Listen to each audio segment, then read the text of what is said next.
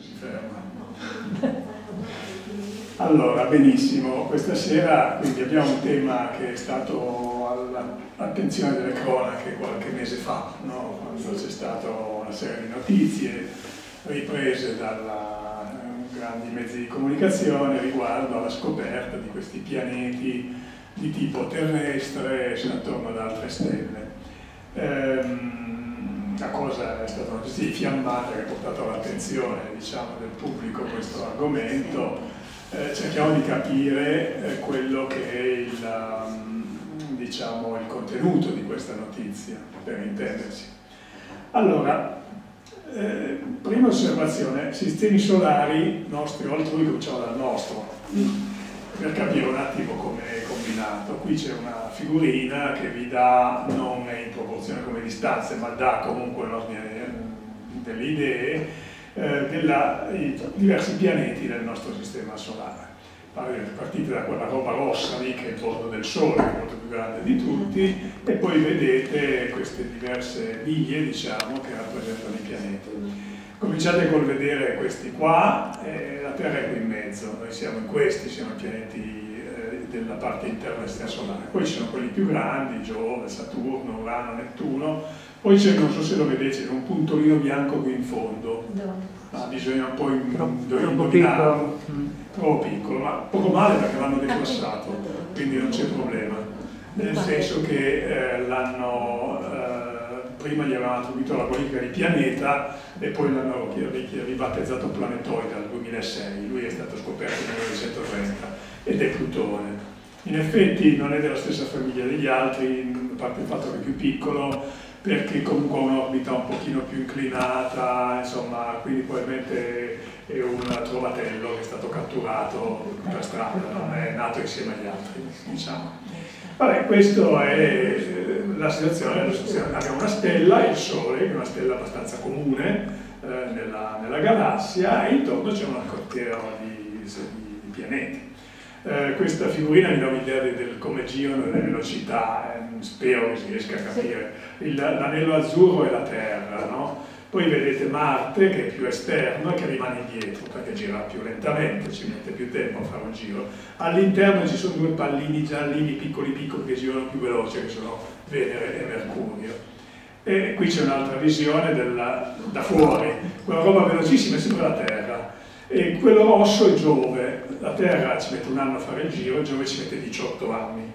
Poi all'esterno vedete altre cose che girano, il primo più vicino è Saturno, l'altro è Urano e sono più lenti pure loro che girano. Eh? Quindi ognuno più si si allontana più è lenta la velocità del moto di rotazione, più ci si avvicina al Sole, al centro di gravità e più è veloce. Vediamo le proporzioni faccio che grande, ciò che dico, quella grande boccia è il sole. Eh, non è che sia, dà l'idea di essere una, proprio una boccia che lo mette qui lucidata, no, quelle sono delle, delle fiamme, fiammate solari, punti chiari, come ci sono le macchine, sono quelle più scure. Lì in fondo a destra avete queste palline più piccole, sono i pianeti, no? il più grosso è Giove, questo qui, poi c'è Saturno, Urano, Nettuno e poi fate fatica a vederli, non so se tutti li vedono, qui ci sono questi piccoli, beh lì c'è la Terra, Marte, Venere Mercurio, questo per darvi un'idea delle proporzioni. Guardando, togliamo di mezzo il Sole, vediamo soltanto i pianeti, li vediamo un pochino meglio le proporzioni.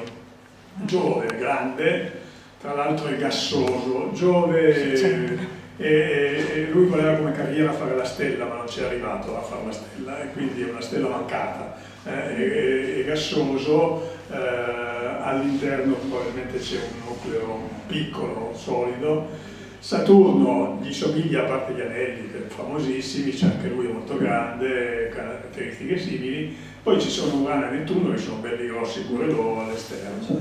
E le biglie qui davanti sono i pianeti interni. Eh? La Terra è questo più scuro, questo è Venere, questo è Marte questo è Mercurio. Quindi vi fate un'idea delle proporzioni. Questo è un sistema solare, sarà tipico, sarà l'unico, eh, perché il nostro com'è, come non è. Mm? Allora, come, come si è formato, come è nata sta roba, per quel che possiamo capire noi? Beh, diciamo che è nato, si stima, 4 miliardi 600 milioni di anni fa, un terzo della vita dell'universo, più o meno, fa, da quello che si chiama una nebulosa planetaria. Quella è una figura disegnata, non è foto di niente, ma immaginate una grande nube irregolare che contiene dentro gas soprattutto e poi granelli di polvere varie. Ora, se eh, per motivi accidentali una zona si addensa un po' più delle altre, eh, diventa più forte l'attrazione che quella stessa zona esercita sul suo intorno. Quindi diciamo che si formano dei punti di concentrazione, di attrazione che attirano quello che c'è intorno e cominciano quindi a svilupparsi degli agglomerati più ampi, prevalentemente gassosi, ma poi la pressione aumenta, comprime e quindi si può formare qualcosa di più solido e avere anche dei nuclei eh, rocciosi se del caso. Eh, l'agglomerato più grande in assoluto è stato eh, quello che ha portato al Sole. Eh. In quel caso la pressione che eh, progressivamente aumenta man mano che si agglomera materia, comprime, comprime e aumenta anche la temperatura di questo gas compresso. Aumenta moltissimo, a un certo punto si superano determinate soglie, aumenta al punto, se c'è abbastanza materia, da far sì che nelle parti più interne si innesca quella che è la fusione nucleare, cioè i nuclei prevalentemente di idrogeno e di elio, soprattutto idrogeno, ma un po' di elio e tracce di altre cose, sono costretti dalla pressione ad essere talmente vicini che riescono a fondersi e quando fanno questo liberano un sacco di energia, che è l'energia tipica delle stelle. Questo succede quando c'è massa sufficiente e la pressione è sufficiente a innescare il processo. Nasce la stella, prima è solo un agglomerato più o meno caldo, poi nasce la stella, cioè un meccanismo di produzione di energia attraverso la fusione che dura a lungo. Abbiamo detto che il sistema solare si è formato 4 miliardi e mezzo abbondanti di anni fa, il Sole si stima che ha ancora una vita attiva prima di una pensione eh, burrascosa di un altro 5 miliardi di anni. Eh? Eh, dopodiché, eh, dato questa classe di stelle, verosimilmente avrà una fase di improvvisa contrazione e riespansione, eh, come una bolla, con la densità bassa, che arriverà fino più o meno dove siamo noi adesso, ma è tra 5 miliardi di anni, per cui possiamo stare tranquilli per il momento. Eh, dopodiché al, alla parte interna si trasformerà in una stellina residua, una nana, che a sua volta pian pianino poi si ridurrà con la capacità di produrre energia alla fine non innesca più la, esaurisce il combustibile, chiamiamolo così, idrogeno e poi elio, per cui alla fine è una roba calda che però come un tizzone non produce energia e, diciamo manda fuori quello che le rimane. Vabbè, questo più o meno grosso modo è la situazione. Partiamo da una, presumibilmente una nebulosa planetaria.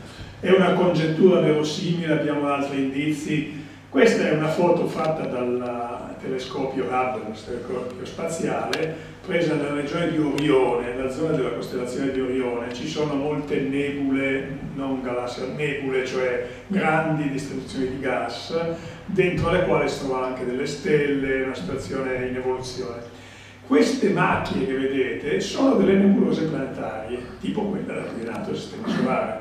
Quindi ce ne sono adesso, queste sono in ritardo rispetto a quello che è successo al Sole, ma hanno le caratteristiche di quello che doveva essere la situazione originaria. Quindi sono eh, più dense delle polveri sparse intorno, cominciano gravitazionalmente a stare insieme. Eh, la temperatura non è tale da sparpagliare il gas più o meno a caso, tendono a stare insieme e a concentrarsi. Dentro ciascuna nube si formano dei punti di aggregazione più importanti degli altri e quindi tendono a eliminare quello che è sparso in mezzo e quindi se tanto vi dà tanto questi saranno dei futuri sistemi solari con una bella stella che è quella più grossa che viene innescata e si accende e poi dei corpi che non arrivano a quel punto lì e che possono essere gassosi come Giove o rocciosi come la Terra, come Marte e che ruoteranno attorno alla loro, alla loro stella. Eh, qui c'è un'altra figura, diciamo di nuovo in disegno, questo qui, che vi dà un'idea di questa nube vista da dentro, torniamo indietro nel tempo, c'è il sole appena nato con ancora intorno un sacco di polvere, eh, polvere e gas, e vedete che ci sono queste cose scure che sono agglomerati di roccia mh? Hm? e che poi possono diventare il nucleo di futuri pianeti.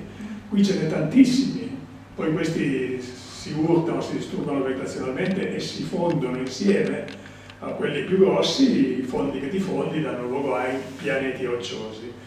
C'è una zona, come saprete, che è tra la parte, tra l'orbita di Marte e quella di Giove, che è la zona degli asteroidi cosiddetta, è una zona che dal punto di vista gravitazionale è molto disturbata dalla presenza di Giove, che ha una forte capacità di attrazione, e dei pianeti interni, Marte, manca la Terra e così via, per cui lì quello che c'era non è riuscito ad aggregarsi in un pianeta, ci sarebbe stato, mettiamola così, in quella zona come materia, ma è rimasto disgregato in tanti pezzetti, che sono poi eh, gli asteroidi, no? che sono tantissimi, hanno orbite che cambiano nel tempo proprio, perché c'è questa perturbazione continua dei corpi maggiori, qualcuno di questi ha orbite molto ellittiche, per cui passa attraverso l'orbita della Terra, si avvicina al Sole, poi si allontana e via, altri hanno orbite più circolari, ce n'è grandi, beh, meno della Luna senz'altro, ma che si avvicinano a quella taglia lì e ce n'è che sono dei sassi grandi come questo tavolo più o meno.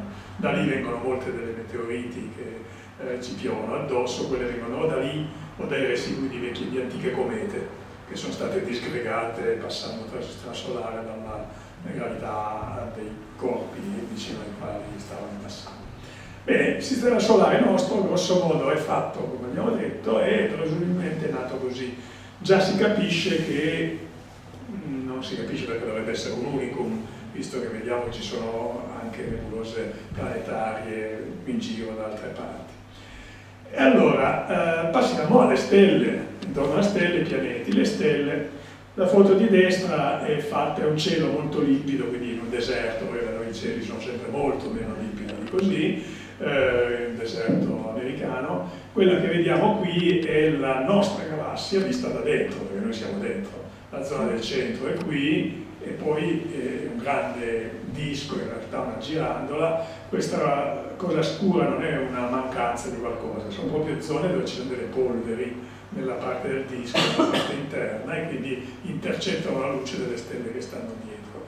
Tantissime stelle, noi siamo parte di questa cosa, siamo in un braccio di una spirale. Quello che si vede a sinistra non può essere la nostra galassia perché non siamo capaci di uscire fuori a guardarla, però è una che presumibilmente è dello stesso tipo, vista da sopra, una visione migliore. Quindi la nostra galassia, che da dentro riusciamo a vedere solo così, se potessimo vederla da sopra si presenterebbe in quell'altro modo. Il sistema solare più o meno sarebbe qui come posizione, quindi eh, su 140.000 anni luce o giù di lì, qui ce ne saranno 30.000 più o meno sarebbe del sistema solare. Siamo in un braccio, in ai, margini di un braccio, ai margini di un braccio, ed è una specie di girandola. Sembra tanto tutto bello, ma non è ancora chiaro perché sono fatte a girandola queste cose. Non tutte le galassie sono fatte a girandola, qualcuna ha una forma più o meno eh, da ellissoide, no? Però la maggior parte sono fatte in quel modo lì. Eh, e quel che succede, noi abbiamo vedete le girandole con i fuochi d'artificio, e questo succede quando io ho qualcosa che è sparato radialmente, la parte interna gira veloce, quello che sta indietro fa i bracci, ma non è che uno si aspetta che le galassie siano state sparate dal centro, si sono aggregate gravitazionalmente, eh, tutto quanto gira nell'universo, perché c'erano i bracci non è così ovvio. Eh? Non solo, ma noi siamo una, una galassia, questa, sbarrata, che qui c'è una specie di sbarra, come se ci fosse una, una no? la, parte luminosa qui, a parte il centro, c'è un astratto ah, diritto, no? È come se uno avesse un come se sembra una, un irrigatore dei prati, no? che ci sono i due bracci, sparano e fanno, e fanno, tutti gli schizzi intorno. Anche quello non è chiarissimo perché sia fatto così. Eh? Ci sono tante cose che sono ancora da capire, incluso la velocità delle stelle, tante cose. Comunque, bene, noi, il nostro Sole, è dentro una galassia ma quante sono le galassie? Eh, no, quante stelle ci sono in una galassia? Allora, Sole, più o meno, la maggior parte sono come Sole. L'ordine di grandezza è 100 miliardi, 100 miliardi di stelle, sulla nostra galassia sono probabilmente più o meno 400 miliardi di stelle. Quella è un po' l'unità di misura perché poi ci sono quelle piccoline che magari hanno solo 10.000 eh, 100, cioè 100 milioni o un miliardo, 10 miliardi, e quelle giganti che sono più grandi della nostra e che magari hanno mille miliardi di stelle. Però grosso modo quello è l'ordine. È un, grande, un numero grande o un numero piccolo? Faccio un paragone un po' inusuale, 100 miliardi di stelle, no? Il debito pubblico italiano è 2250 miliardi di euro, molto di più. Immaginate proprio 2250 monete da un euro. Eh, debito, 2250 da un euro. Non è tantissimo perché poi, considerando il volume, vengono 800.000 metri cubi, che è un terzo della piramide di Cheope. Dice, beh allora, ce la caviamo, no? Eh, e peserebbero 17 milioni di tonnellate. Eh, diciamo che eh, 100 miliardi è anche un numero caratteristico perché la stima del numero di neuroni del, del cervello. Questo è il numero di, di, stelle che stanno dentro la tipica galassia. Quante di queste ci avranno i pianeti intorno? La maggior parte sono più o meno come il Sole, come tipo, più piccole, più o meno in quel tipo lì. Eh, adesso si possono fare dei ragionamenti di probabilità, ma adesso ci sono già delle osservazioni, e da qui uno, senza sapere leggere e scrivere, dice che mediamente un pianeta per stella c'è. In realtà noi ne abbiamo 8, 8 intorno al Sole, c'è gli asteroidi che sono come dire un pianeta sbriciolato, c'è la fascia di Oort che è una cosa esterna dove stanno le comete, quelle affezionate che sono sempre, poi ci sono quelle che girano e ogni tanto ne passano e poi spariscono, no? ma ci sono quelle che vengono da questa regione esterna a Plutone parecchio, che però appartiene al Sole gravitazionalmente. Quindi c'è un sacco di roba intorno a una stella che è la nostra, non è che le altre devono essere da meno, no? Comunque facciamo prudenzialmente un calcolo per la nostra Via Lattea, 400 miliardi di pianeti, bene o male ci stanno. È un discreto numerino, eh? 400 miliardi che quindi diciamo. Allora, eh, a quel punto la domanda ho fatto prima, sì, la galassia, ma quante sono le galassie? Beh, della parte che noi vediamo ce ne di nuovo stimate 100 miliardi, di nuovo. Quella foto lì è fatta dal, sempre dal telescopio spaziale, non, non sono stelle quelle, sono galassie, anche i puntolini più piccoli. In una zona buia, diciamo, del cielo, ho fatto la foto tenendo aperto l'obiettivo, chiamiamolo così, molto a lungo. Ognuno di quei puntolini è quella galassia nostra, la, la, la Via Lattea, solo che è lontano miliardi di anni luce. Quindi centinaia di miliardi di stelle in ogni galassia, centinaia di miliardi di galassie nell'universo, non nell'universo punto, in quello che vediamo. Noi vediamo un pezzo, abbiamo detto che finisce lì. E poi se finisce poi cosa c'è? Una domanda tipica, no? Non è vero. Comunque sia, o è chiuso così, il fatto che finisce poi non, non, è una domanda che non sta in piedi. No? Quindi, eh, quindi, quindi, cosa si può dedurre? che la cosa più improbabile dell'universo è che ci siamo solo noi. Cioè, veramente uno spreco terrificante. No, comunque in termini di pianeti è ovvio che non è che c'è solo la Terra. Qui, qui ho parlato di pianeti eh, genericamente, quindi sono corpi oscuri che possono essere o gassosi misti e che ruotano attorno ad una stella Ce ne sono anche che ruotano attorno a sistemi doppi di stelle, cioè in questa formazione da nubi può capitare che due centri di aggregazione non hanno, nessuno dei due ha vinto, tutti e due hanno fatto una stella e sono legati gravitazionalmente, però ci sono anche pianeti in mezzo.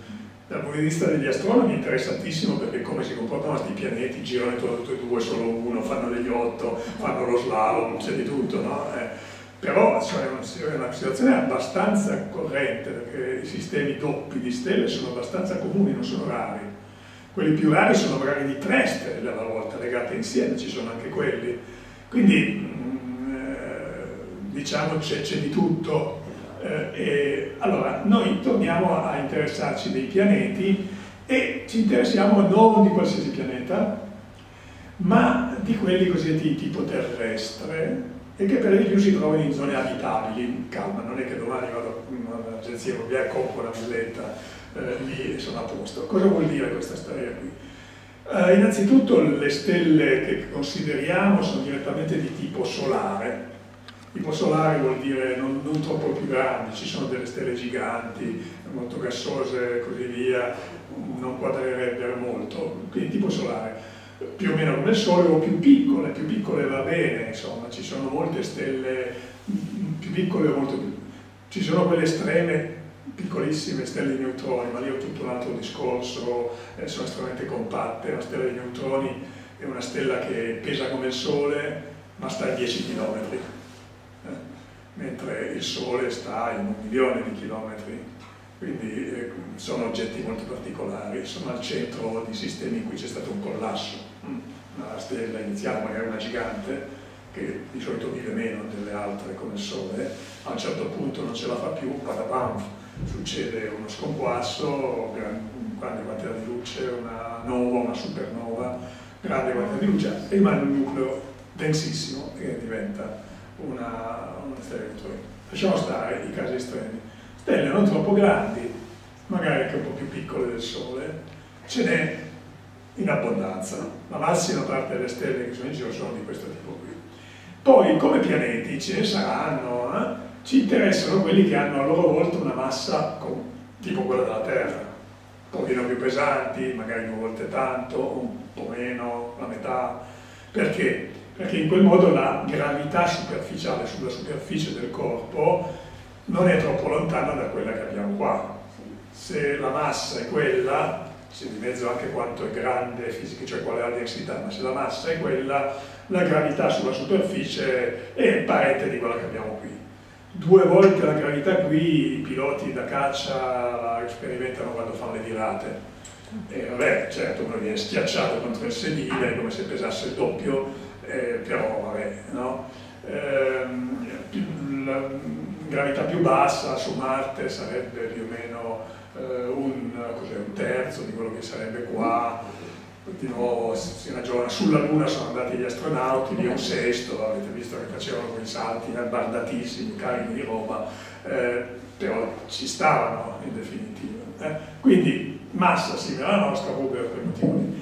Poi l'altra cosa importante è che devono essere in una posizione tale da poter avere dell'acqua liquida, magari non durante tutto il tempo, ma in, in parte. Questa è una restrizione abbastanza importante, ehm, perché eh, la molecola d'acqua è presente, presente nelle comete, può essere presente in traccia in certi meteoriti, eh, quindi diciamo che l'acqua, idrogeno, ossigeno, eh, si trova. Però un conto è averla permanentemente ghiacciata oppure in forma di vapore, che per la verità non dura molto, un conto è averla in forma liquida, che è uno degli elementi caratteristici della Terra. Questo vuol dire che il flusso di radiazione che viene dalla stella sul pianeta deve essere in un certo intervallo. Il flusso di radiazione che arriva dal Sole sulla Terra è misurato in watt, cioè in, giù per secondo, eh, è di 1300 watt a metro quadro. E noi abbiamo l'acqua liquida. Diciamo che potrebbe essere un po' di più, un po' di meno, perché poi non dipende solo dal flusso di radiazione, bisogna vedere se l'atmosfera dell'eventuale pianeta, come è fatta, quanto è densa. Se è troppo densa c'è l'effetto serra come, come su Venere e la temperatura superficiale è molto al di sopra della temperatura di ebollizione dell'acqua, quindi l'acqua si c'è solo in forma di vapore nelle nubi e basta. No? Se è troppo eh, tenue l'atmosfera, allora eh, l'acqua potrebbe esserci quando ghiaccia, ma anche come acqua evapora non solo, non tanto per la temperatura, ma per la depressione. Cioè qualunque corpo, persino questo tavolo, tende ad, a, a, perdere qualcosa in superficie, no?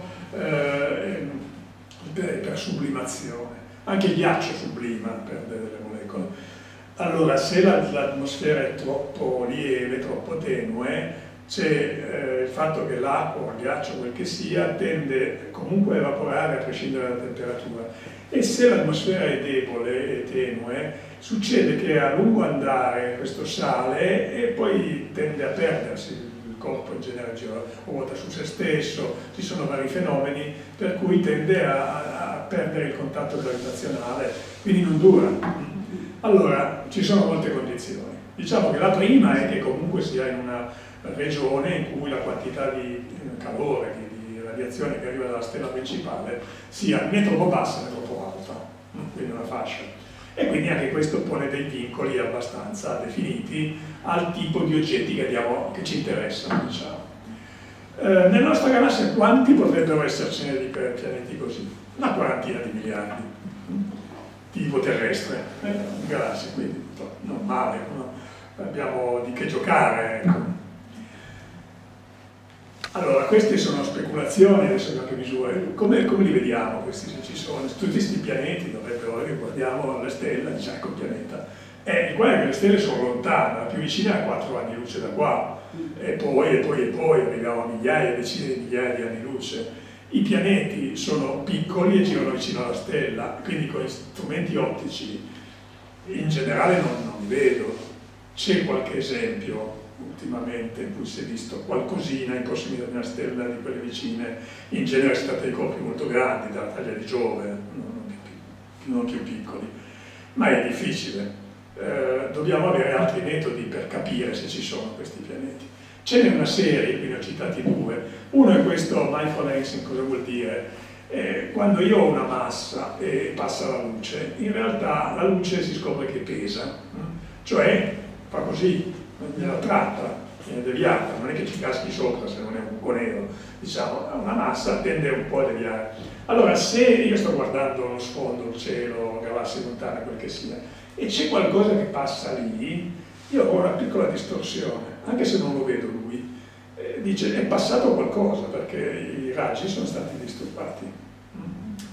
E questo è un modo. Questo può essere eh, generico e infatti in questo modo si scoprono corpi di tipo planetario che però non orbitano attorno a nessuna stella. Sono i freelance de, de, de, dei pianeti, ce n'è. Qualcuno magari è il resto di una stella che si è spenta, chissà quando.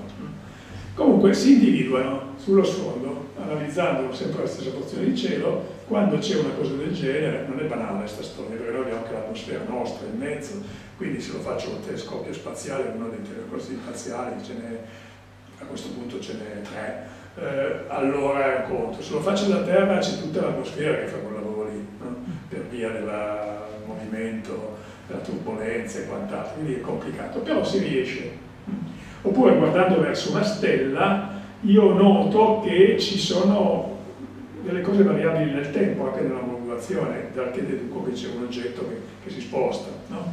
E poi l'altro metodo che tutto sommato è quello che adesso ha preso maggiormente piede, allora se sono fortunato, perché magari i pianeti girano con la stella lì e girano così, mi guardo, eh, ma se li vedo in taglio, allora il pianeta, quale che sia, passa davanti alla stella, poi gira, passa dietro, prendiamo davanti e così via. Quando passa davanti alla stella, e fa un po' da schermo, anche se lui è molto piccolo. Quindi la luce della stella si attenua un briciolino. Se io sto lì a guardare con degli strumenti, non tanto la vista, ma con degli strumenti, mi accorgo se c'è un calo di intensità luminosa. Potrebbe essere casuale, accidentale, ma se io sto lì e vedo che si ripete periodicamente, allora dice, eh no, qui è un oggetto che gira. Eh? Quindi questo è il metodo. Poi ci sono altre questioni, sottigliezze riguardano lo spettro della radiazione, adesso non è il caso di, di complicarsi ulteriormente la vita. Allora, questi sono più o meno gli strumenti che abbiamo a disposizione. Eh, che informazioni ricaviamo da questa roba qua? Allora, eh, la prima cosa che cerchiamo di sapere è studiare la stella. E la stella, so di che classe è, di che tipo è, questo e quell'altro, ho vari modi eh, di individuare l'informazione sulla stella e quindi una delle cose che trovo è la massa della stella. Poi supponiamo di avere il pianeta che passa davanti, allora la frequenza dei passaggi.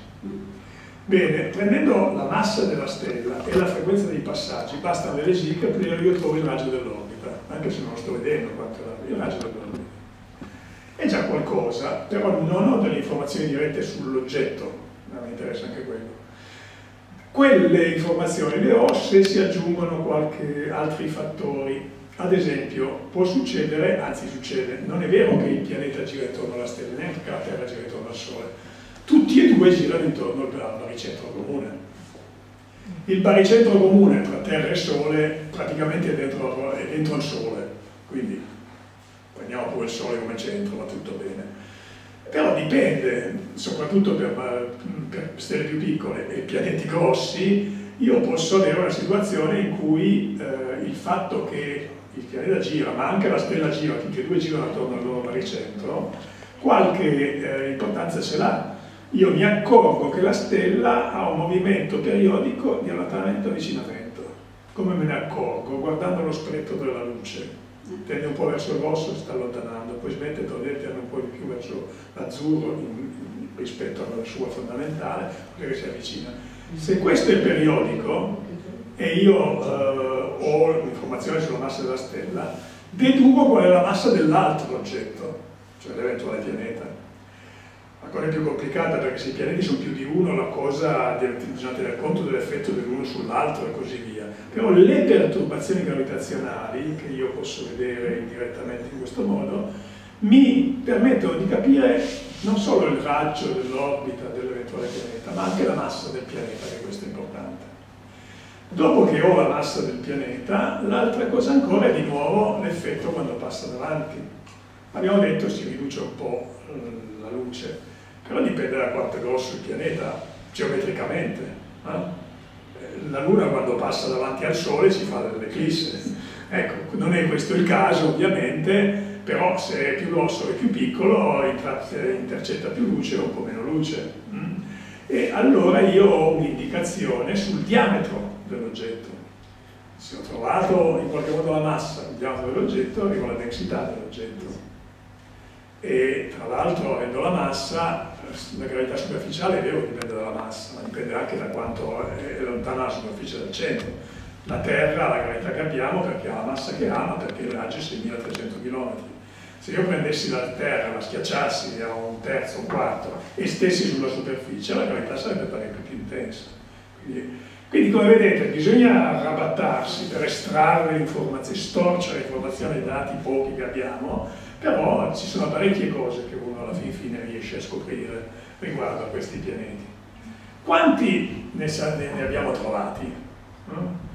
Allora, all'inizio del mese erano 3.608 e se, siccome ci sono a questo punto degli osservatori dedicati che fanno solo quello, e se ne trovano, ogni tanto se ne trovano.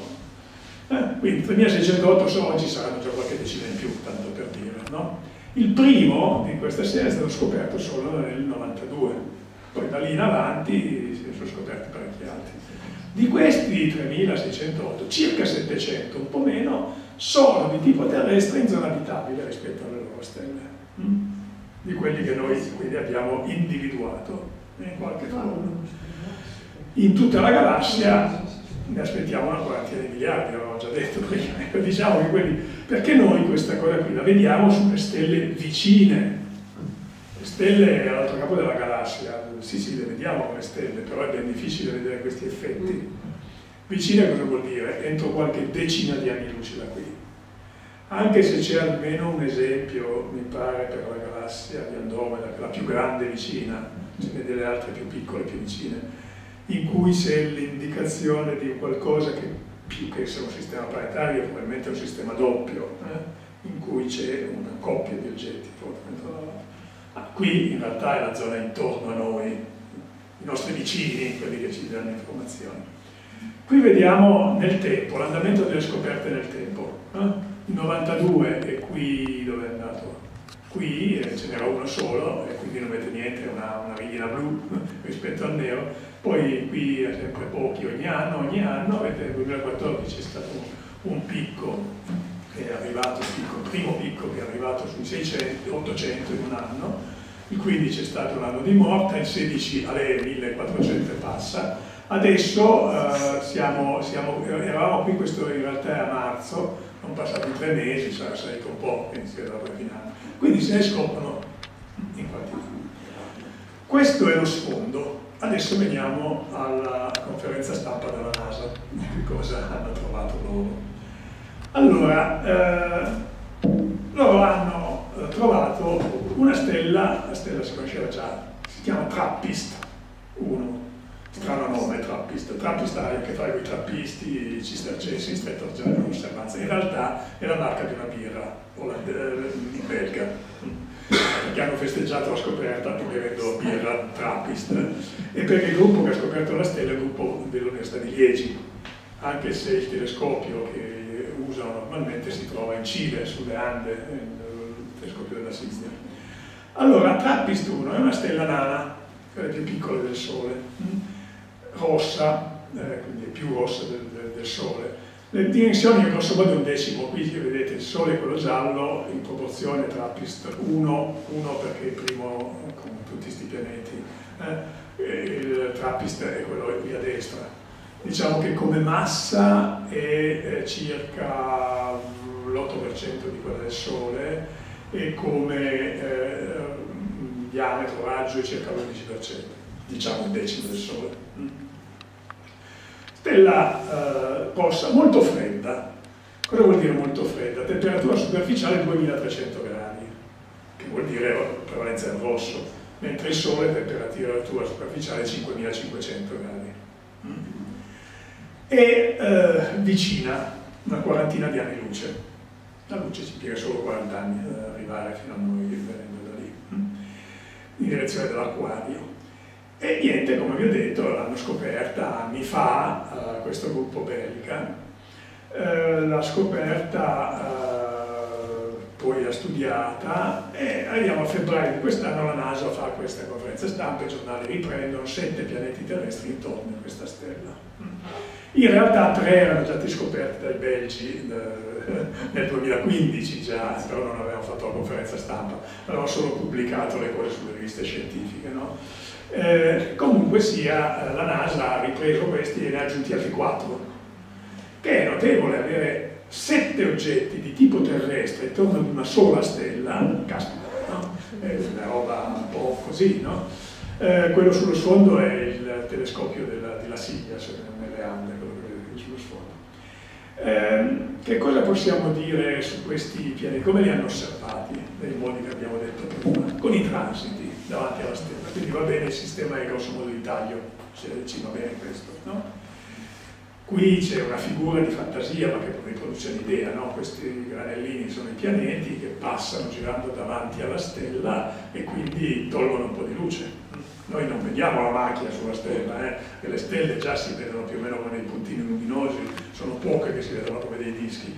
Noi in realtà abbiamo gli strumenti che misurano il flusso di radiazione Qui a destra noi abbiamo l'andamento della, eh, della, luce, quantità di luce.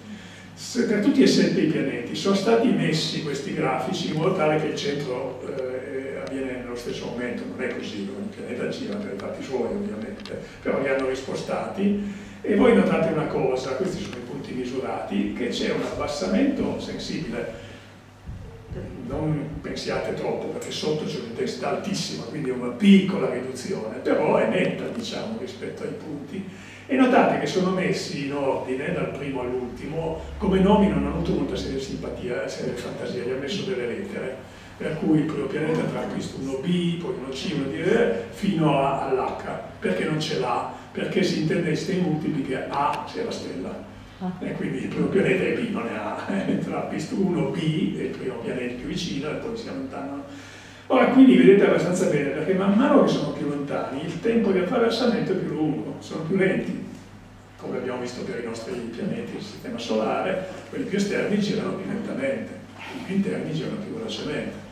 Quindi, ops, il, uh, chissà se riesco a tornare indietro, sì il più lontano, questo qui, no? tra, tra Pistuno H ci mette di più, eh, sono circa un'ora ci mette, in minuti quello che vedete in orizzontale, il più vicino ci mette sì, un quarto d'ora, grosso modo, ad attraversare il campo visivo. Poi, ripeto, non sono sincronizzati in quel modo, sono ognuno per fatti suoi, ma li ha messi insieme. È un sistema molto denso, eh? una famiglia compatta, tanto compatta che le loro orbite eh, sono tutte minori del raggio dell'orbita di Mercurio rispetto al Sole. Mercurio è il pianeta più vicino al Sole, no? infuocato lì, proprio lì, quasi che lo, il Sole lo raggiunge. Questi sono dalla loro stella a distanze inferiori a quella di Mercurio, sono insetteri, quindi una, una marea. Ed è una prima domanda che si fa a un astronomo, dice ma è stabile questo sistema perché si disturbano gravitazionalmente uno con l'altro? Sì, hanno trovato un equilibrio, hanno costituito una famiglia armonica, nel senso che eh, si sono assestati su delle, eh, delle orbite che sono eh, risonanti, cioè in sostanza adesso ci sono varie combinazioni, uno, mentre uno fa due giri l'altro ne fa cinque interi e così via, in maniera tale che è uno schema che si ripete regolarmente, che viene autostabilizzato. Se fossero casuali, i disturbi potrebbero arrivare ad espellere qualcuno, buttarne qualcuno sulla stella, chissà che. Invece, avendo trovato questa configurazione con varie risonanze, tutti e sette, riescono a mantenerla abbastanza stabile. Il periodo orbitale, pianeta intorno a una stella, è l'anno, no? Bene, l'anno del più vicino dura un giorno e mezzo e l'anno del più lontano, diciamo, è quello meno, meno chiaro, diciamo, può essere tra 15 e 20, diciamo in media 18-19 giorni. Quindi eh, è proprio molto veloce. Di questi sette pianeti, tre sono, considerando il ragionamento della stella, nella fascia abitabile cosiddetta se c'è dell'acqua, perché non è detto che c'è una molecola, eh, il flusso di radiazione è tale che potrebbe essere in allo stato liquido qualche volta, sempre che abbia un'atmosfera che permette di mantenere il vapore non disperso. Quindi tre, che sono tantissimi, tre in un'unica stella e bla bla.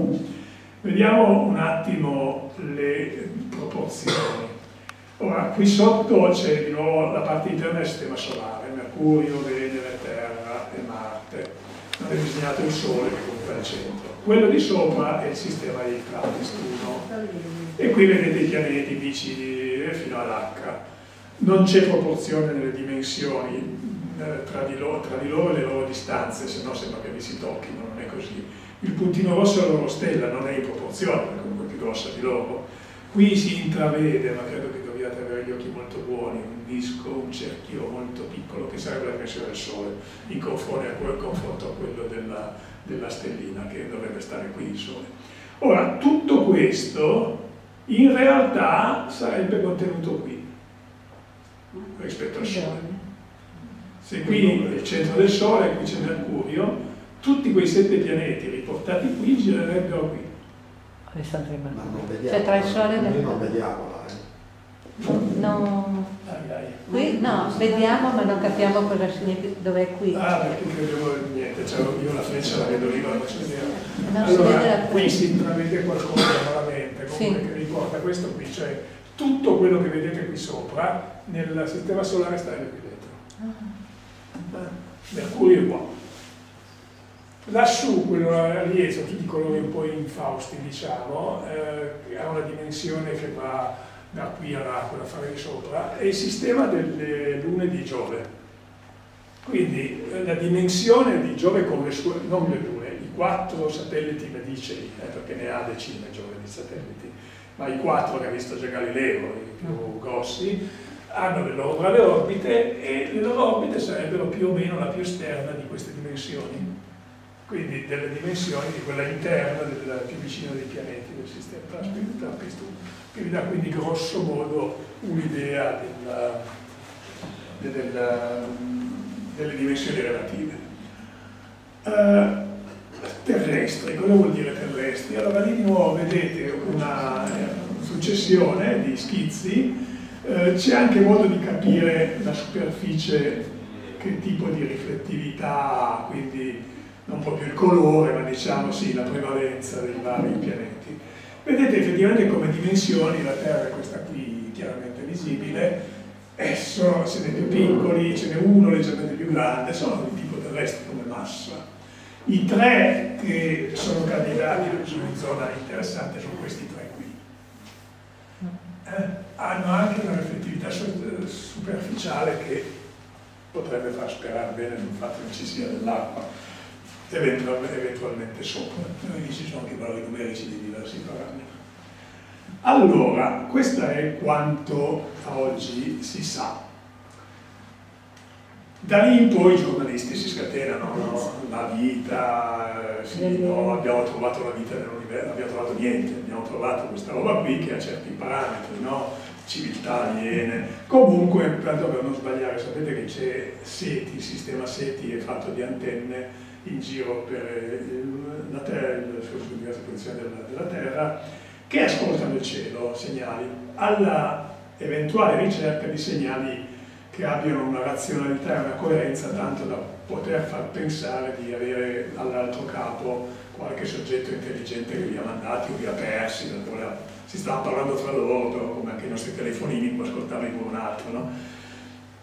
Ovviamente, siccome le distanze sono decine, centinaia, migliaia di anni luce, non è vuol dire che io adesso capito che stanno telefonando di telefono, perché ci sono migliaia di luce in mezzo, quindi non, non, funziona così. Però ci sono queste antenne del sistema SETI, non, non, non sono del, degli scombinati o dei cacciatori di dischi volanti, qualcuno magari, ma che seriamente esplorano il cielo, ogni tanto trovano un segnale interessante, poi attenzione che ci sono dei segnali periodici regolari che a volte sono dovuti a cause naturali, le pulsar, eh. stelle pulsanti, sono più regolari degli orologi atomici, ma sono naturalissime e sono un problema di conservazione del, momento angolare, questa regolarità.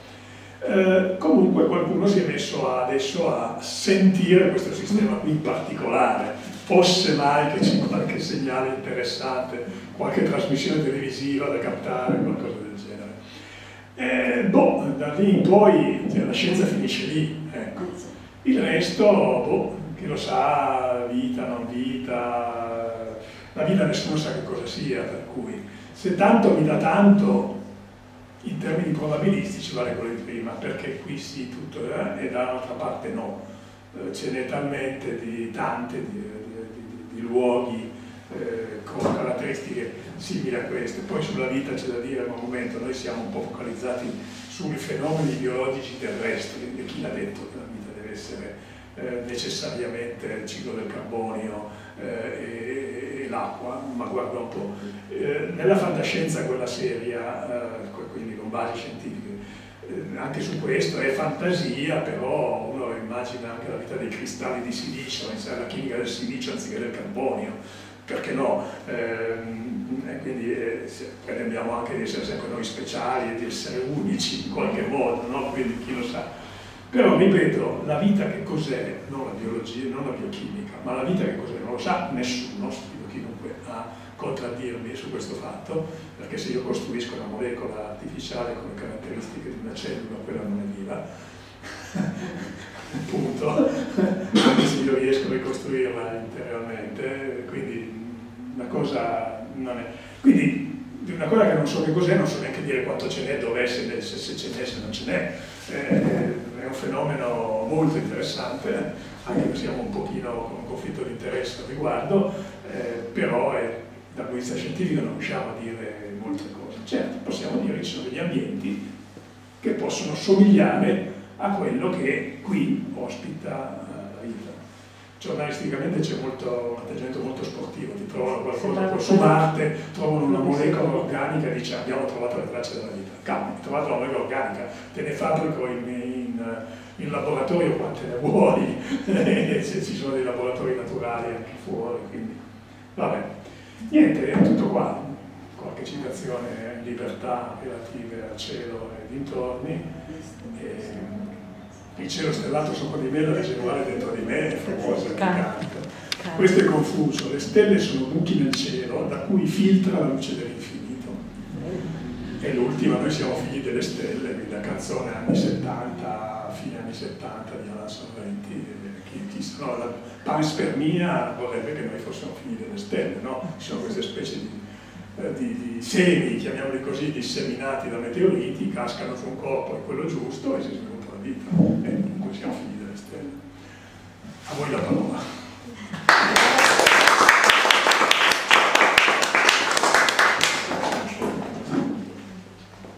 Qualcuno vuole fare una domanda? Comincio io.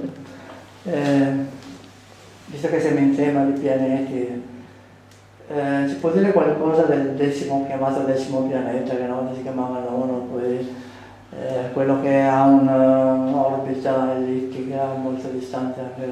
Non so se... Sì, se... il decimo è un problema di cui si discutevano parecchio tempo sì. fa, perché allora uno dei modi che ci sono stati per allargare la famiglia del sistema solare, l'astronomi ha cominciato a osservare in maniera sistematica il cielo, però fino a due secoli fa la convinzione che i pianeti erano quelli che si conoscevano da, da sempre, insomma, quelli che avevano osservato dagli antichi e che arrivavano fino a Saturno, sostanzialmente.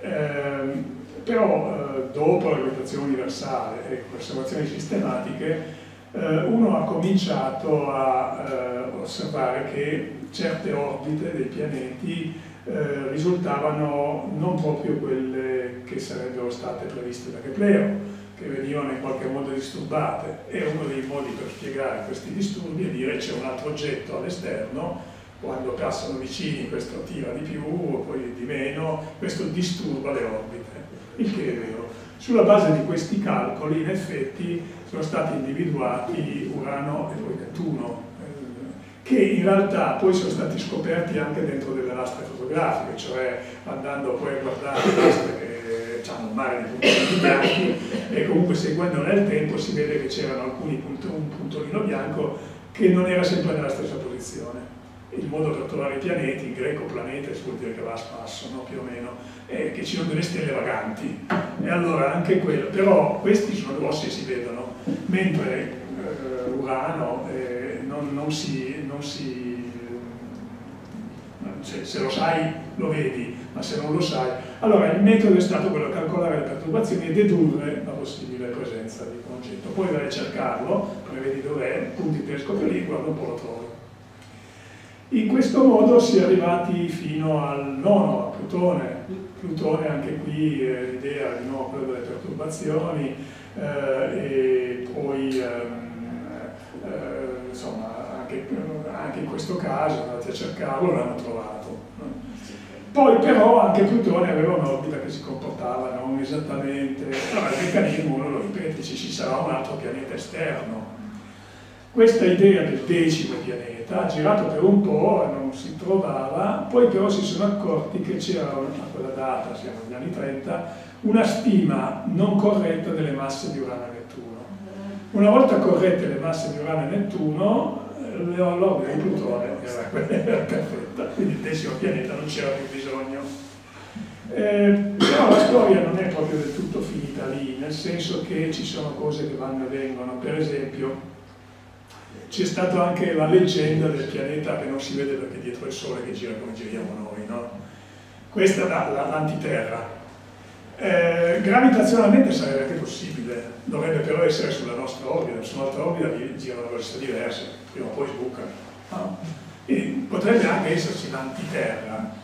È vero che bisogna vedere quanto dura la stabilità di una cosa del genere, dopodiché però va bene, per la fantascienza va benissimo per, scientificamente non è impossibile, ripeto, però non hai elementi particolari. O su questa storia delle, delle, perturbazioni si è anche a lungo parlato di un ulteriore pianeta, non da fuori, ma in dentro, sotto Mercurio. Dice il Sole, c'è la luce del Sole, quindi non riesco a vedere, no? se vado più vicino, però anche lì potrebbe essere responsabile di delle perturbazioni eh, su, uh, su uh, Mercurio. Adesso è stato escluso, ehm, anche perché poi si trova la presenza di satelliti, i satelliti hanno il loro ruolo, ehm, anche loro nel far modulare un po' le varie orbite. Quindi la storia è un pochino questa, quella dei pianeti extra, quelli conosciuti. Corpi che ruotano attorno al Sole, ho detto prima ce n'è un sacco, a parte questi quelli più grossi, la fascia di asteroidi, ci sono dei planetoidi al di là di Plutone, qualcuno grosso quasi come Plutone, più lontani al margine della fascia di Oort cosiddetta, eh, che è quella dove stanno le comete, ma non ci sono solo le comete, c'è i corpi fatti prevalentemente di ghiaccio, d'acqua, mm, ma anche corpi rocciosi, no? ce n'è molti in qualche modo. Eh? Non tutti, qualcuno ha un nome, non tutti hanno un nome, ma insomma. Piacerebbe che parla... Ah, c'è, dopo. No, non è una domanda infantile, ma non ho mai capito perché la Terra non volga sempre la stessa faccia al Sole, come fa la Luna con, con la Terra. E tra un po' di miliardi di anni finirà così, nel senso che quando si sono formati questi corpi, eh, il momento angolare, la velocità con cui girano, eccetera, dipende dalle condizioni locali, gli oggetti che cascano dentro non sono esattamente radiali, quindi la corba che si forma gira su se stessa. Eh, in presenza di un altro corpo maggiore, eh, in realtà c'è un'interazione, non solo nel senso che questo gira intorno all'altro, tutti e due tornano baricentro, ma anche nel fatto che il corpo maggiore induce delle maree anche solide, delle deformazioni periodiche nel corpo minore. Mm.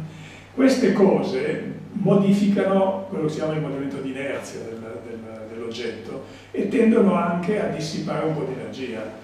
Cioè è solido, io deformo poco, ma ogni volta che faccio così è un po' di energia che va a finire dentro la pianeta, si scalda, è come i freni. Se io cerco di freno qualcosa, io trasferisco dell'energia che si manifesta sotto forma di calore. Allora anche in un corpo che ruota intorno ad un altro, ma ruota per i fatti suoi più veloce, la, la, deformazione indotta dal corpo maggiore tende in qualche misura a uh, fare un po' da freno, generando calore all'interno di quel corpo. Il risultato è che il corpo che gira più veloce, quello più piccolo, rallenta progressivamente.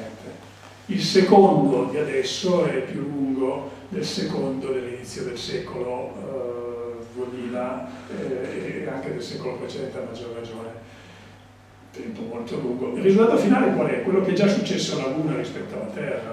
La Luna all'inizio poteva benissimo avere il suo momento, però a furia di fare eh, ha dissipato tutta l'energia che la portava a cambiare faccia e quindi a deformarsi periodicamente.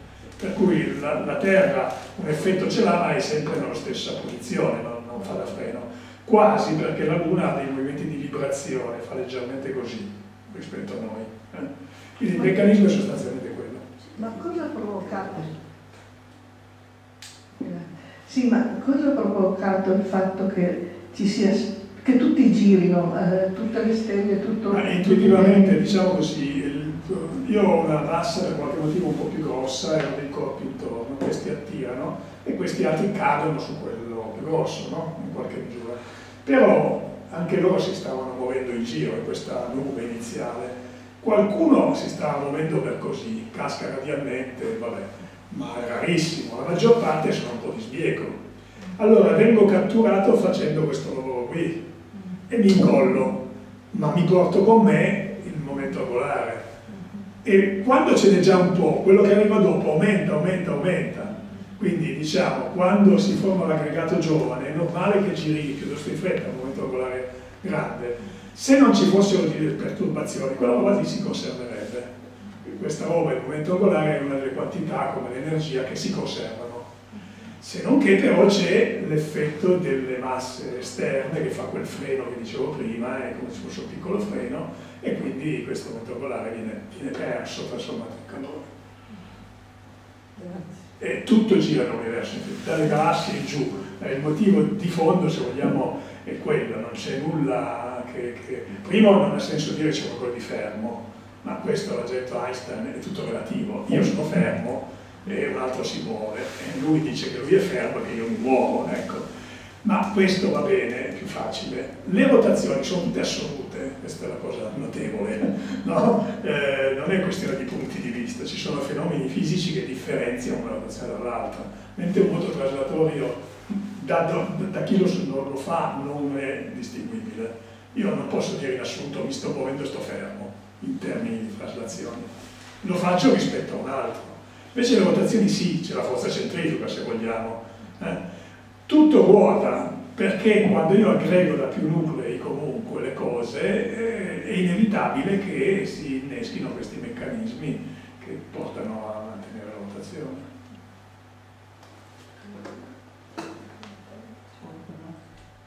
Ma io avrei ma sono domande infantili però. Eh, vabbè, ma siamo tutti sono molto più infantili delle sue, potrebbe fare la mia nipotina, insomma, ecco, comunque gliene faccio due, ma perché l'universo è così grande? Perché l'ha fatto così grande l'universo? Prima domanda. Seconda domanda, probabilmente questa è forse di un'altra persona, diceva, se vi sono altre civiltà intelligenti, perché non hanno mai cercato di contattarci?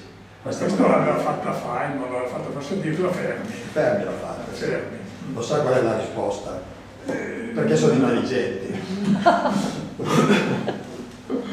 No, diciamo, per quanto riguarda la prima, e cosa vuol dire grande o piccolo, prima, prima osservazione? L'universo è tutto ciò, a livello materiale, tutto ciò che c'è. E tutto ciò che c'è è tutto ciò che c'è. Allora, abbiamo due opzioni. è infinito, che è la cosa più, come dire, perché dovrebbe essere finito. Anche perché, cosa vuol dire universo finito? Finisce? No, cosa vuol dire infinito, direi io? No, infinito eh, è stato, è stato, era chiaro e poi si hanno scoperto che le cose non erano così semplici fino ai tempi di Einstein. Cioè io, eh, lasciamo qui una bandierina, parto e trovo sempre stelle, stelle, stelle, stelle, stelle, stelle. Non tornerò mai più e trovo sempre stelle, stelle, stelle, stelle, infinito. Finito vuol dire c'è un vuoto, la frontiera. Domanda subito è quale sia dopo la frontiera. Se l'universo è tutto, è tutto, compreso lo spazio. Allora l'universo può essere finito, ma illimitato. Allora l'esempio solito è la sfera, lo dice la sfera, no? È finito, però non è che c'è un confine, se io sono appiccicato alla sfera, giro, torno al punto di partenza, questo sì. Allora una versione dei modelli di universo è finito e allora necessariamente deve essere come la sfera, anche se lo spazio in tre dimensioni, mettiamoci il tempo addirittura in quattro. Eh? Quindi torno, io parto sempre dritto così e tra n miliardi di anni ritorno qua chissà se c'è qualcuno che è in grado di ricordarsi che ero partito, e comunque, allora, in quel caso lì l'universo può essere finito. Delle tre versioni classiche della teoria di Einstein, una è l'universo limitato, finito e, e curvo, chiamiamolo così, con la sfera, in tre dimensioni lo spazio. L'altro è l'universo che invece è in espansione eh, ed è illimitato e infinito, poi c'è una versione che è il passaggio dall'uno all'altro, che è quella, eh, qui ci sono dei ragionamenti di geometria che uno dovrebbe fare, eh, la geometria con cui misuriamo posizioni delle galassie, le più remote, se guardo ancora più in là nel tempo c'è una zona dove è tutta luminosa, che è fatta di una radiazione che allora era a 3000 gradi, adesso se la vediamo per via dell'espansione a 2 gradi e 7 o giù di lì, no? eh, se io guardo là e vedo la geometria lì e trovo, scopro che sostanzialmente è la geometria di Euclide, che prendo tutti contenti. Questo avviene a valle della relatività generale, geometria rimaniane, chissà che curvatura dello spazio-tempo. Lo spazio, dalle osservazioni, risulta piatto. Ora, lo spazio piatto corrisponde proprio alla posizione limite tra l'universo chiuso e l'universo aperto, che proprio dice proprio quella a proposito di cose, ma perché? È proprio quella, sembra proprio così, però in questo caso è comunque infinito. Però quello che noi vediamo, dice, l'infinito è la, risposta, come mai non si sono fatti vivi? Dice, eh, caspita, eh, non sono ancora arrivati i segnali, no? chissà quando li hanno mandati. E siccome in ogni caso io ho il Big Bang, l'inizio, eh, non è da dire, se fosse infinito nello spazio e nel tempo, convinzione che c'era fino ad Einstein, per lontani che fossero hanno avuto tutto il tempo di arrivare, non c'è problema, no? Ma se io invece ho un inizio, eh beh, quello che è più di 13 miliardi e 700 milioni di anni, e non, non, non, può essere arrivato. Nello spazio può esserci della roba più lontana, ma la luce che è partita di là, da quando qualcuno ha acceso la luce, non è ancora arrivata, non può arrivare. Quello che noi studiamo è l'universo visibile, cioè quello che arriva fino a 13 miliardi e 700 miliardi, sono 14 miliardi di anni, che non vuol dire che non c'è niente di più lontano.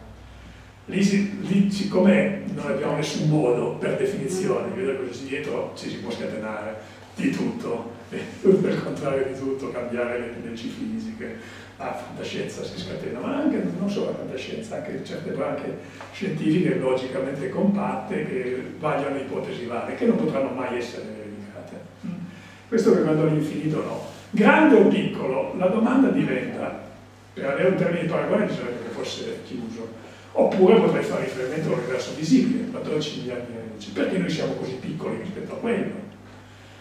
Bella domanda. non ne ho la minima idea. Eh, eh, semmai la domanda è modo di dire ma che spreco abbiamo visto centinaia di miliardi di galassie, centinaia di miliardi di stelle, sarebbe uno spreco ci fossero solo noi. Allora, sempre andando alla fantascienza più seria, uno potrebbe dire, i casi sono due. O effettivamente, beh c'è un mare di gente in giro per l'universo, gente, intendiamoci, no? Però altre possibilità c'è l'universo. Oppure tutto un gioco di specchi.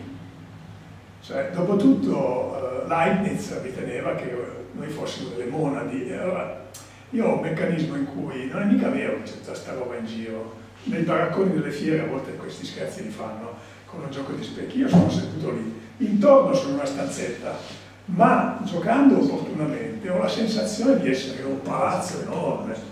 Eh? Eh, c'è un meccanismo che porta ad avere questa illusione della, che è quello eh, del, degli ologrammi. Eh, c'è una parte della fisica, di cosmologia olografica, in cui in qualche misura si eh, interpreta quello che si vede come una sorta di ologramma quindi bidimensionale sullo sfondo del cielo, e che dà la sensazione di, di profondità. Eh? Quindi, però, santo cielo, almeno io del sistema solare sembra che gli specchi non ci siano, no? e anche nei paraggi. Se sono un po' più in là, il problema è simile, perché comunque c'è un sacco di spazio, perché vai tutto questo spazio. Chi lo sa? Eh. Volevo, chiedere, cioè volevo agganciarmi al discorso per dire che la, le dimensioni umane in effetti sono una, una, posizione centrale fra le dimensioni dell'universo e le dimensioni delle particelle atomiche. No? Quindi, e lì bisogna starci attenti perché sennò viene l'uomo che misura tutte le cose eh, che greci... No, no, no, ma come... come no, no, no, ma bisogna stare attenti, perché in realtà le nostre dimensioni, parliamo di dimensioni fisiche, sono legate al pianeta su cui siamo. L'animale più grosso della storia della, degli animali è tuttora, tuttora vivente la balenottera azzurra, eh? più grande dei dinosauri. C'è un limite superiore che deriva, eh, deriva dalla gravità eh? e dalla controllabilità del sistema. La gravità, vabbè, la paradotta già sta nell'acqua, no? i grandi dinosauri, oltre a un certo limite ti ci vogliono delle ossa, poi come le muovi, le giunzioni, devi poterti muovere, anche se la testolina è così, però questa massa terrificante, oltre a un certo limite non arrivi, no? per motivi di gravità. E poi l'altro problema è che noi siamo organismi, noi siamo colonie pluricellulari, un organismo quadra se può essere controllato in modo unitario, da una centrale unica. Se no si dissolve, si dissocia, la pesca. Ora, questo è un discorso un pochino più sottile, un sistema complesso ha dei limiti alla quantità di canali che può controllare. I calcolatori insegnano, insomma, no? Quindi anche sistemi neuronali che hanno 100 miliardi di neuroni così, però hanno dei limiti, oltre un certo limite il sistema deve frammentarsi, altrimenti non è più governabile. Eh? Quindi abbiamo dei limiti che sono legati, uno al problema della complessità che è universale, due alla, al pianeta. Se noi ci fossimo sviluppati sul pianeta con l'acqua liquida, quindi Giove non andava bene, bisogna che Giove fosse qua, ma con una gravità superficiale 10 volte quella della Terra, probabilmente saremmo molto più piccoli no? eh, pur avendo l'acqua e le altre cose, eh, molto più piccoli di quello che siamo qui. Se ci fossimo sviluppati su un pianeta a gravità più bassa, sempre con l'acqua e tutto il resto, potremmo essere più grandi fisicamente. Il problema del controllo c'è lo stesso, però se andiamo per molecole, non è un organismo monomolecolare, se andiamo per molecole c'è un limite alla possibilità da una parte di da una centrale, il cervello, quel che è, di tenere sotto controllo la periferia, oltre il quale. Quindi diciamo che le nostre dimensioni fisiche sono determinate da questo. Eh, quindi il fatto di intermedio tra l'altro è... sì, è vero e non è vero, nel senso che intermedio tra la dimensione atomica e la dimensione cosmica, anche la Luna è intermedia tra a rigor di termini, no? come dimensioni. No? Quindi è intermedio letteralmente nel senso che siamo fatti di atomi e siamo parte di questo enorme cielo fatto di, di galassie. Per motivi fisici sono ho detto prima. Posso chiedere qualcosa? Eh, prima lei ha parlato eh, della vita, che dice che non si riesce a costruire questo mistero. Ovviamente potrebbero esserci due ipotesi, no? una o Dio ha dato in qualche modo il primo l'input, perché, oppure non l'abbiamo ancora scoperto ma lo scopriremo. Volevo, a livello così di scienziati o di cose, c'è una prevalenza di questa, di questa, ipotesi oppure comunque ci potrebbe essere ancora una terza ipotesi, non lo so. Ma c'è ampia, ampia, scelta. Diciamo che quando ci avviciniamo a questo argomento le scelte diventano ideologiche, filosofiche, pre, pre, prevalenza di, di preferenze. Eh, la dimensione scientifica può rimanere ma fino a un certo punto, quindi si va un po' per gradimenti. Eh, allora, diciamo che una versione non abbiamo ancora capito, vabbè, si cerca ci sono tante cose che non abbiamo capito, anzi una cosa che si può vedere proprio anche statisticamente, più capiamo, cioè più sappiamo che capiamo, questo, con le cosmologie è così, eh, letteralmente, materia oscura, energia oscura, tutto scuro, eh, eh, però, è, vicino. Eh, però è, è, così. per quanto riguarda la vita, uno può dire, vabbè, eh, poi si capirà. Ci sono alcuni elementi significativi nell'esperienza che noi abbiamo qui sul nostro pianeta, che oggettivamente, mettiamo come vogliamo, la vita si propaga, non si crea mai. Cioè, se ci fosse un meccanismo naturale che nelle condizioni del pianeta Terra porta a far comparire la vita, perché non compare? Cioè, va bene che si propaghi quella che c'è, ma ogni tanto sbucherebbe da, dai sassi o dall'acqua qualcosa, perché no? Si propaga sempre solo. Una volta non c'era la vita sulla Terra. Certo, sono 3 miliardi scarsi di anni che... Eh, e quindi a un certo punto è venuta fuori. Qualcosa è successo 3 miliardi di anni fa, certo. Allora, uno può dire, è una proprietà, questa è una versione po' a metà tra lo scientifico e, che ne so, linguistico dintorni, però è, è una proprietà della materia, questo. Cioè io sono più vivo, questo è meno vivo. Per cui quando ci sono le condizioni, in realtà eh, da lì può evolvere. Però eh, si scopre un un po' col fatto che 3 miliardi di anni fa è successo qualcosa, perché non è più successo? Cioè, non è che sia cambiato il pianeta drasticamente, sì, era abbastanza diverso 3 miliardi di anni fa rispetto ad adesso, però la massa era quella, il sole era un po' più caldo, sì, però insomma mica in maniera drastica ad adesso, c'era più anidride carbonica nell'atmosfera, ma sono tutti fenomeni biochimici questi che uno più o meno conosce. No? Cosa c'è di drastico? Poi potrei riprodurli, infatti c'è qualcuno che ci prova, adesso ogni tanto, ogni tanto ci sono queste cose della cellula artificiale quelli che sono riusciti a fare la cellula artificiale vivente, c'è stato un caso due, in realtà hanno un nucleo di una cellula vera intorno alla quale hanno costruito il resto. Allora l'oggetto che viene fuori è vivo, ma, ma, io ho usato un pezzo di qualcosa che era vivo, proprio completamente assemblato artificiale. Non è che io non possa, dal punto di vista chimico, mettere gli amminoacidi, bla bla bla, però non è vivo, non si riproduce. Poi è vero che io ho degli algoritmi di calcolatore che riescono a riprodursi, cioè metto in piedi, però è tutto un po' così, eh, diciamo, un po', un po', forzato. Quando io voglio vedere una cosa la vedo, è una vecchia storia, è molto più sovente, quando io non voglio vedere una cosa non la vedo, questo è molto più diffuso. No? Allora è questo che io dico quando dico che nessuno sa che cosa sia la vita, non sto dicendo, quindi non sto dicendo creata, questa è un'altra storia ancora però oggettivamente non si può ridurre la vita alla biochimica o alla biofisica. La biochimica e la biofisica io riesco a controllarle, ma le caratteristiche che io attribuisco alla vita non è semplicemente di avere una serie di processi biochimici e biofisici. C'è qualcos'altro. Se vediamo poi le funzioni superiori diventa più complicato. Poi il problema ancora della coscienza, allora. Eh, se, se si aspetta ci sono quelle apparecchiature che, che aspettano dei segnali, dovrebbero esserci creature, sì, realtà anche intelligenti che certo, mandino... Certo, l'idea di chi sta Quindi ascoltando la coscienza che, che ci sia... Ci sono delle cose interessantissime dal punto di vista teologico, ma mettiamo che siamo in tanti. E beh, noi abbiamo avuto la Bibbia, la storia della creazione, la storia della salvezza. Gli altri che si trovano sei galassie più in là, hanno avuto anche loro la caduta, hanno avuto bisogno della redenzione. Quando li incontriamo li chiediamo. È un bel problema. È un bel problema. D'altra parte essere soli veramente è uno spreco così, santo cielo, vabbè, grazie, ma troppo grazie, insomma, così si suol dire. No? Ma... Veramente.